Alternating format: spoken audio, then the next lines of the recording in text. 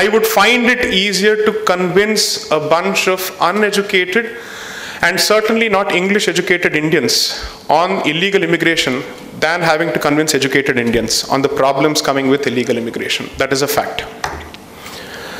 Because the educated Indian has effectively bought into certain ideas, and those ideas have guilt tripped him into accepting certain positions because if he doesn't accept those positions, he's immediately branded a bigot, a fascist, a fundamentalist, and for all practical purposes, what is the word I'm looking for? A Sanghi. Okay. So, uh, considering that, it tells you that education has played a significant role in conditioning your mind to opening your doors to your own destruction. I dare use the word destruction. I have no qualms in using the word destruction.